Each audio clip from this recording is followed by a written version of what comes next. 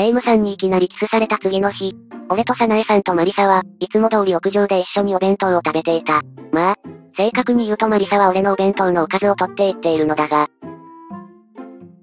千秋何かあったのか？いや、それが私にもわからないんですよ。昨日の夕方からずっとこんな感じで、私がさっきからおかず取ってることにすら気づいてないんじゃないのか？おーい、千秋起きてるかえ？何？いや、何？じゃなくて、何なんだよ。は？どこか体調でも悪いんですか？別にいつも通りですけど。いつも通りじゃないから聞いてるんだろ。今日はずっとぼーっとしてるけど、どうしたんだ？おかず取られてることにも気づいてないだろ。そんなぼーっとしてるか？そう思うならお弁当見てみ。マリサにそう言われ、お弁当に目をやると、おかずが半分以上なくなっていた。は？マリサさすがに取りすぎだろ。いやいや、今回に関しては千秋が悪いだろ。意味わからん。まあまあ、私の分をあげますから。いや、さすがにそこまでしてもらわなくても。ダメですよ。長月くんは成長期なんですし、調子が悪い時はご飯食べた方がいいですよ。成長軌道の河野は早苗さんも一緒なのでは？もらえるものはもらっておいた方がいいぞ千秋。俺のお弁当のおかず取った張本人がそれを言うな。俺がマリサにそんな文句を言っていると。はい、長月くん、あんしてください。え、え？ほら、早くあんってしてください。俺は早苗さんに言われるがまま、しぶしぶ口を開ける。そうすると、早苗さんはお弁当のおかずを食べさせてくれた。なんだろう、なんかすっごい恥ずかしい。自分でしておいてあれですけど、なんだか少し恥ずかしいですね。なあ、別にイチャイチャすることは否定しないけどさ。そういうことをするなら、最低限私がいないところでしたらどうなんだ？何を言い出すかと思えば、そもそもマリサが俺のお弁当を横取りしなければしなくて済んだんだよ。イチャイチャしてることは否定しないんだな。違う。そういうことじゃ。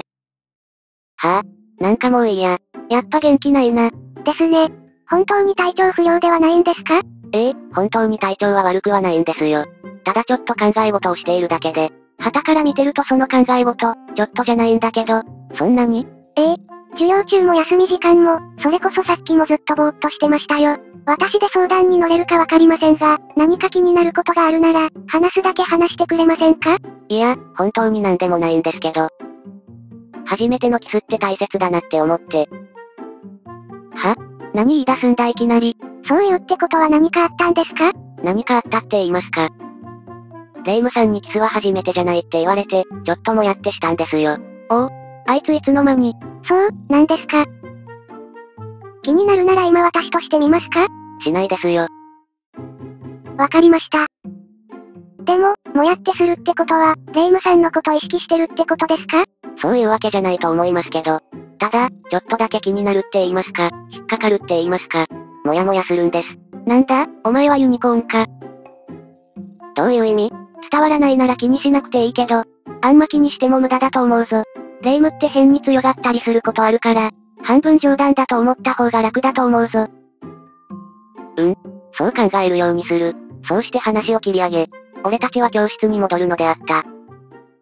その日の夕方、俺は帰ってきてリビングでぼーっとしていると、レイムさんに話しかけられた。千秋、今日ずっとぼーっとしてたって早苗から聞いたけど、どうかしたの？どうかしたって、逆にレイムさんはどうもしないんですか？うん、特になんとも。なんかすごいですね。そうでもないわよ。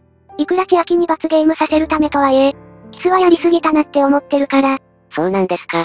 まあ、今日に関しては俺は気にしすぎてましたね。なんかすごいモヤモヤしてたんだよ。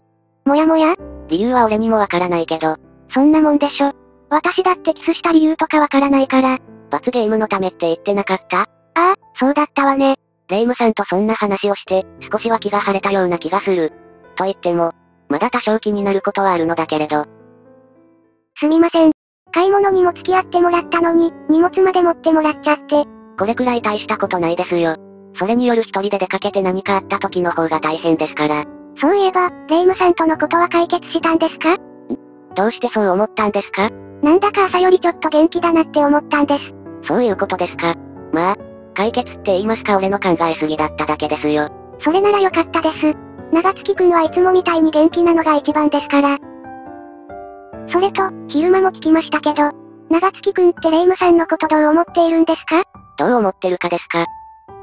なんて言えばいいかわからないんですよね。普通にいい人だと思ってますけど、恋愛感情とかがあるかって言われると、本当によくわからないんですよ。それじゃあ、聞き方を変えますね。レイムさんが他の人の恋人になったとしたら、長月くんはどう思いますか？うーん。レイムさんの選択なら俺は何も言えないですけど、寂しくなるので嫌ですかね。それなら、私が長月くんのことを好きだって言っているのはどう思ってるんですか？好きだって言われて、ありがたくは思うんですけど、今の俺じゃその気持ちには応え、俺がそう言いかけると、サナエさんは俺の言葉を遮るように抱きついてきた。聞いたのは私ですけど、言わないでください。私だって、長月くんが他の誰かの彼氏になるのは嫌なんですよ。それがたとえ稲付けのレイムさんでも。あ、あの、どうしたんですか？